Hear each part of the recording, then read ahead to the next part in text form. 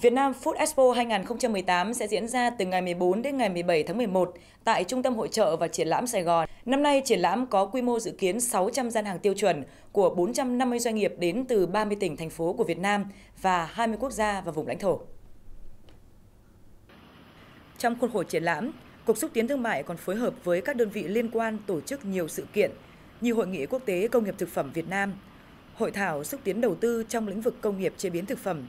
Hội thi nấu ăn quốc tế Sài Gòn. Trong cùng thời gian và địa điểm diễn ra Việt Nam Food Expo 2018, còn diễn ra triển lãm quốc tế công nghệ thực phẩm Việt Nam 2018, Việt Nam Food Tech 2018. Triển lãm nhằm góp phần thúc đẩy quá trình chuyển giao công nghệ, nâng cao năng suất và giá trị gia tăng trong ngành chế biến thực phẩm tại Việt Nam, qua đó nâng cao hiệu quả xúc tiến thương mại ngành thực phẩm Việt Nam.